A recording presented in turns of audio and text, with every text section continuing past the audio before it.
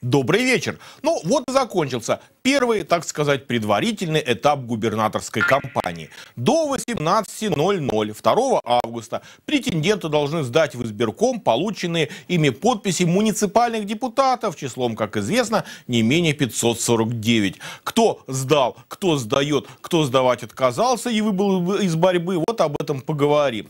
Ну а начну, как обычно, по пятницам с краткого обзора того, что произошло и о чем мы узнали на уходящей недели, последней недели июля. Владимир Путин принял 31 июля досрочную отставку Александра Карлина и назначил его до выборов 14 сентября временно исполняющим обязанности губернатора Алтайского края. Суммарные запасы угля на топливных складах ТЭЦ Алтайского края на 30 июля составляют более 470 тысяч тонн, что почти в два раза превышает необходимую норму. За полгода в Алтайском крае собрано почти 27 миллиардов рублей налогов, что на 8% больше, чем год назад главной теме. Выборы губернатора края через полтора месяца, даже чуть меньше, 14 сентября. Кто окажется в для голосования, преодолев для этого так называемый муниципальный фильтр, пока неизвестно. Но, то есть, один-то кандидат уже известен, причем несколько дней. Да, полагаю, в преодолении барьера кандидатом от «Единой России», который имеет подавляющее большинство среди местных депутатов, никто и не сомневался. 30 июля избирательная комиссия Алтайского края зарегистрировала первого кандидата на выборах губернатора региона, действующего главу края Александра Карлина. Он первым предоставил полный пакет необходимых документов, в том числе 576 нотариально заверенных подписей муниципальных депутатов. Ну и вот утверждение Александра Калина, временно исполняющим обязанности главы региона, эксперты единодушно оценивают как своего рода президентское благословение его кандидатуры точно известен первый выбывший Алексей Сарычев, который, как мне кажется, к сбору подписей муниципальных депутатов ну и не приступал. Вот так пошумел немного и исчез, как говорят аналитики, до следующего выборного цикла. Интрига-то в другом. Кто из представителей парламентских партий подпись сумеет собрать? Напомню, что многие из них сделать это практически отчаялись, и вот тут руку помощи протянула «Единая Россия».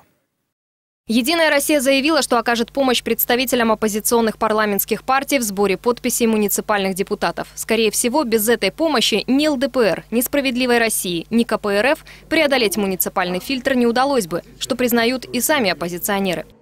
Нам показалось, что это непреодолимо. Ну и кто в итоге помог набрать нужное количество? Ну, естественно, э, партия власти и правящая э, значит, коалиция или как сказать, команда Алтайском крае без их помощи, конечно, это было бы практически невозможно. Вот, кстати, либерал-демократ Щукин заявил, что необходимое количество подписей он уже собрал и передает а, в избирком. Давайте посчитаем. Кроме Сарачева, выбыл и Карлина уже зарегистрирован на попадание в бюллетень для голосования. Сейчас формально претендуют 8 человек. Из них нам, как избирателям, интересны, по сути, только выдвиженцы парламентских партий. Ну, возможно, в бюллетене появится фамилия кого-нибудь из представителей малых партий. Но конкуренцию людям из партий больших этот человек составить пока не сможет. А значит, основной базовый состав бюллетеней нам уже почти известен. Скорее всего, в бюллетень для голосования попадут, кроме Александра Карлина, фамилии Олега Баронина, «Справедливая Россия», Андрея Щукина, ЛДПР и Сергея Юрченко, КПРФ. А реплика сегодня звучит так. Уже со следующей недели зарегистрированные кандидаты в губернатора Алтайского края, надо полагать, и развернут большую агитационную работу. За логикой их аргументов э, я буду в реплике следить. Ну а силу и убедительность этой аргументации покажут сами выборы. Увидимся в понедельник.